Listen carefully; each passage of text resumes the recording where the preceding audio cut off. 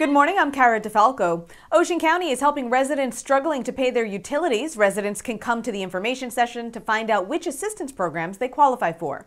Burlington County is hosting a construction and utilities job fair tomorrow. The event will be held at the Human Services Building in Westampton and is free to anyone 18 and older. Newton Medical Center will get 750,000 federal dollars to improve their behavioral health department. The investment will help serve people with a mental health crisis.